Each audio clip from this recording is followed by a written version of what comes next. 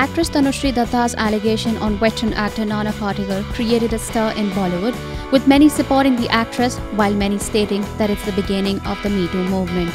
Speaking about the role, Arjun Kapoor said, मेरी दो बहनें इस इंडस्ट्री में और इंडस्ट्री छोड़िए मेरी दो बहनें यहाँ पे काम करिए मेरी और तीन बहनें भी हैं As a human being, who has sisters, as a human being, I would in living in this country, I would want that any woman feels safe."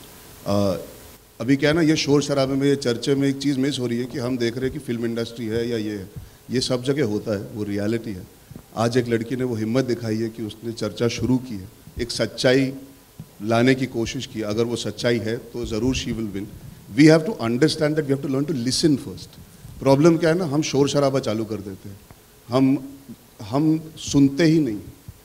तो लोगों को डर लगता है कि यार, ये तो बात का पतंगड़ बन जाएगा। That girl has come out and spoken about something that was so that is so dreaded that you you you think a million times in this country before coming out and speaking about it so she deserves to be heard before being judgmental before taking sides before pointing fingers before making it a debate before making it about will this be a movement will we do that you have to listen you have to respect what has happened you have to understand हमको process करना पड़ेगा ये हम सब पे उंगली उठाई गई Tanushree Dutta, on the other hand, has now been slapped with two legal notices, one each on behalf of veteran actor Nana Patekar and filmmaker Vivek Agnihotri.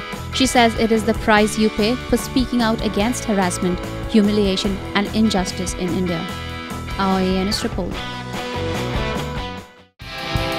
Subscribe to our channel. Just click on the bell icon for all the latest updates.